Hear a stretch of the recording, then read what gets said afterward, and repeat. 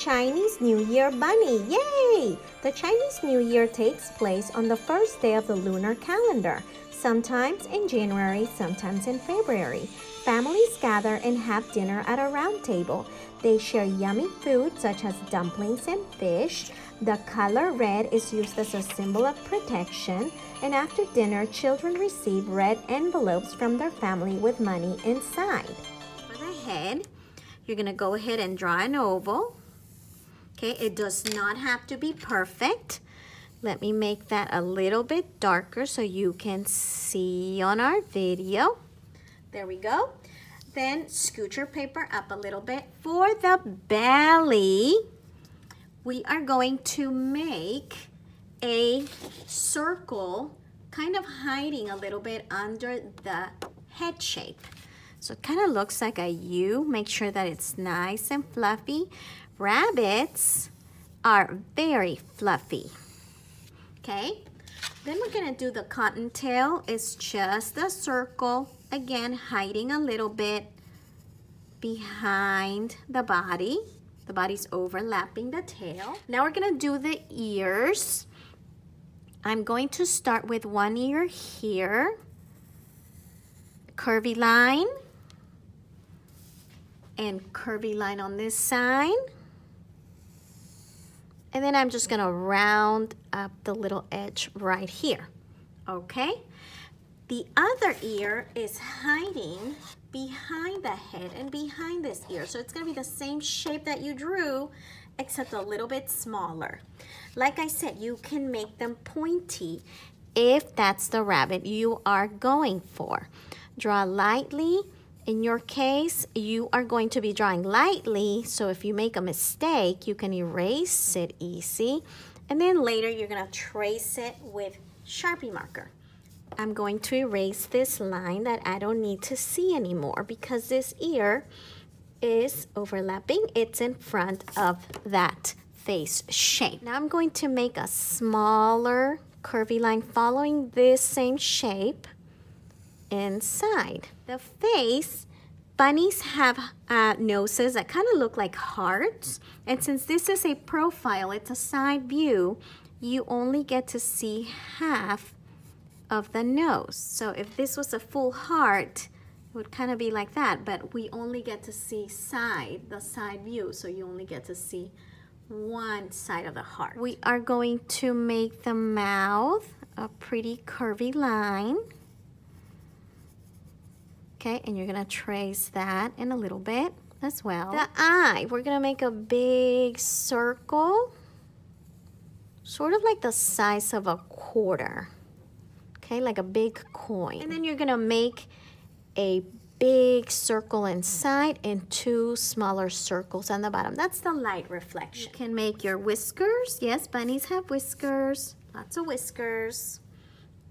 And now we're moving on to the arms. If I'm going too fast, you can pause it and rewind it. The arms, I just kept it simple. It's a curvy line like the letter U.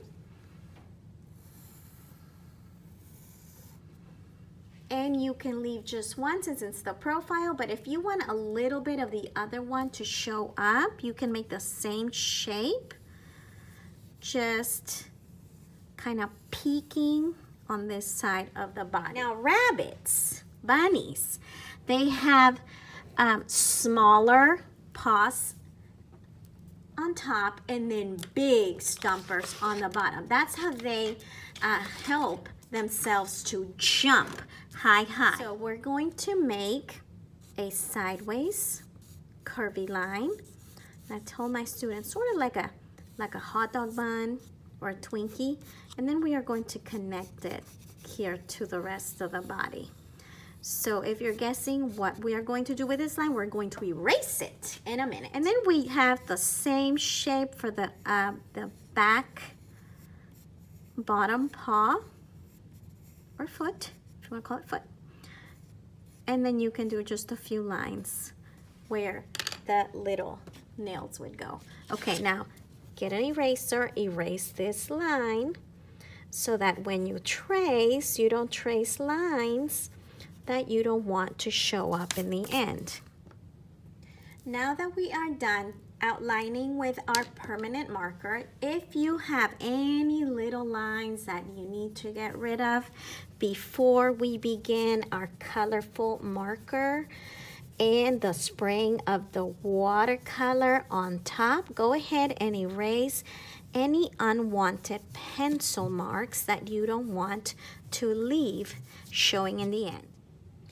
Okay, now that I am done drawing all the beautiful designs inside of my bunny rabbit, I'm ready to begin adding color. Here I have permanent markers in different colors. I'm only going to color inside of the designs that I drew. The flowers, the petals, the, the paisleys or the little raindrops, whatever you want to call them, the paw.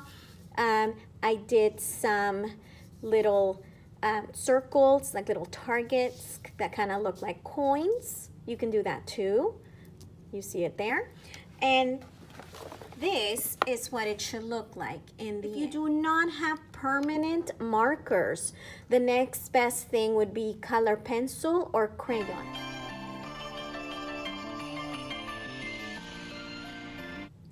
Now we are ready to add just a little bit of color to the background, to the white areas in our rabbit's body.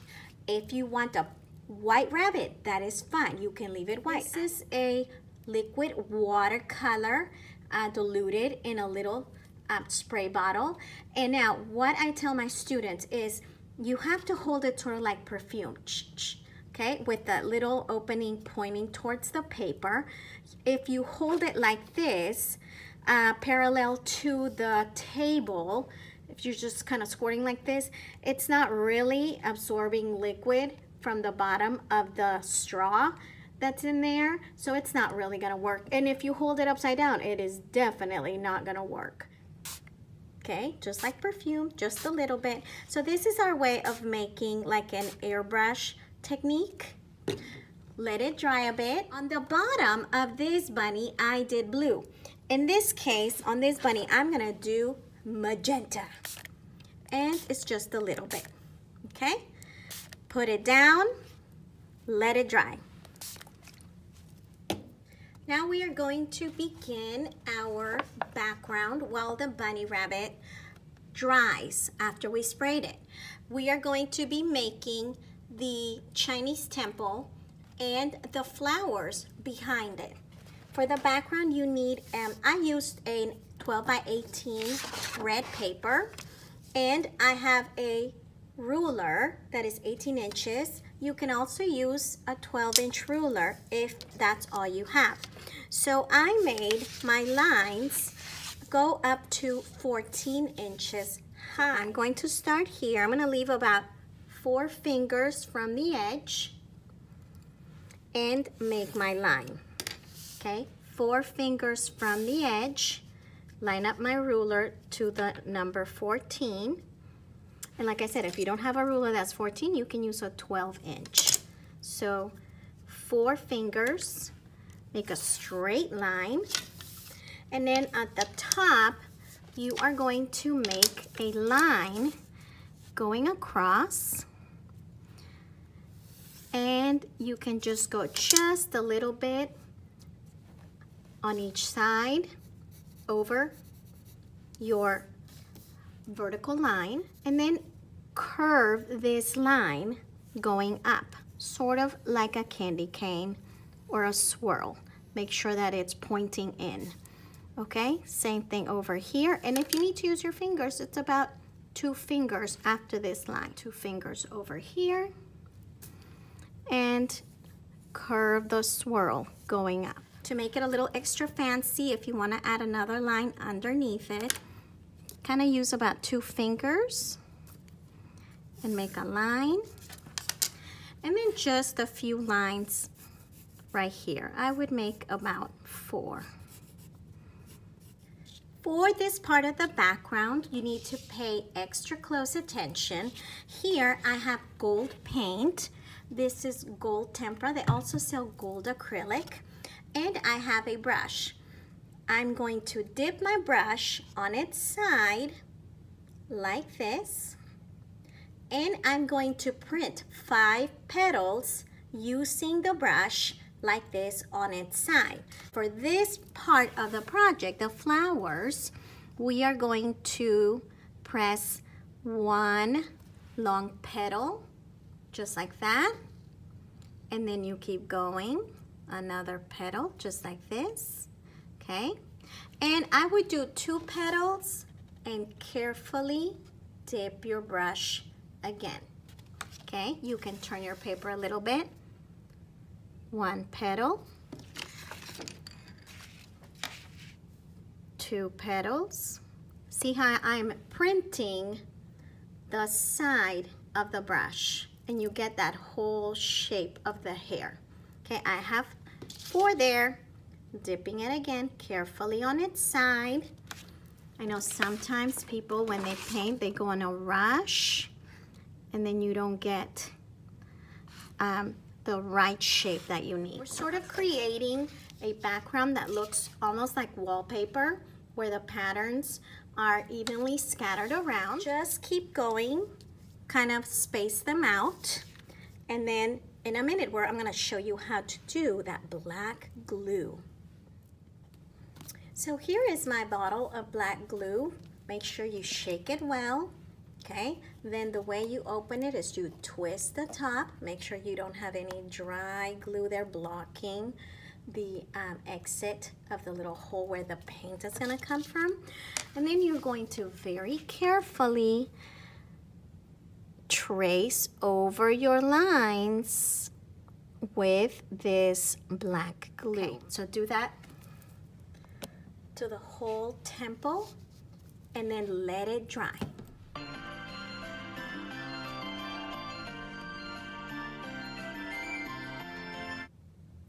Once you have cut out your rabbit, you are going to turn it over and use a little bit of liquid glue to glue it down. Your rabbit like a big sticker and place it where you want it. I'm putting my rabbit inside of the Chinese temple because we're gonna put decorations up here. Now we are ready for final details. I'm about to show you how to make this beautiful accordion fan. You need a long strip of paper to begin folding it.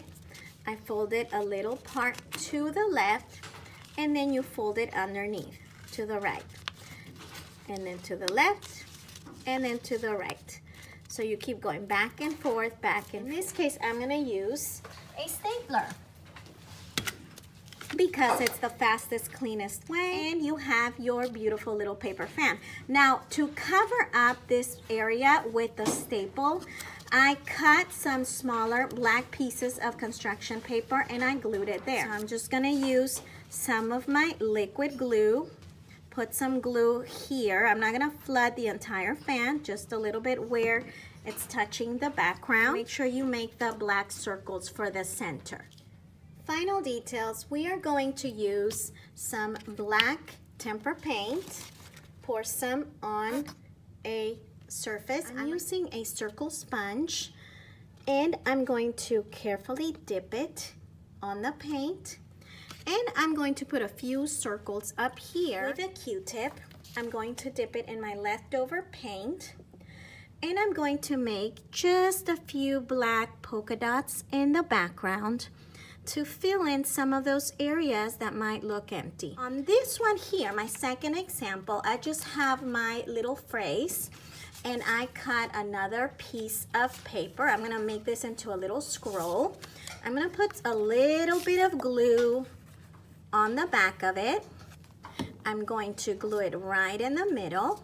And then to make this look like a scroll, I'm just gonna roll the ends on a pencil like this. I'm gonna roll them up and they stay curly up. Do you see that little curly cue? Okay, other end. You're just rolling this on the pencil tightly and then remove your pencil and you have your little scroll. You can glue this somewhere where you think it should go to decorate. I hope you enjoyed this lesson. Happy New Year best wishes to you.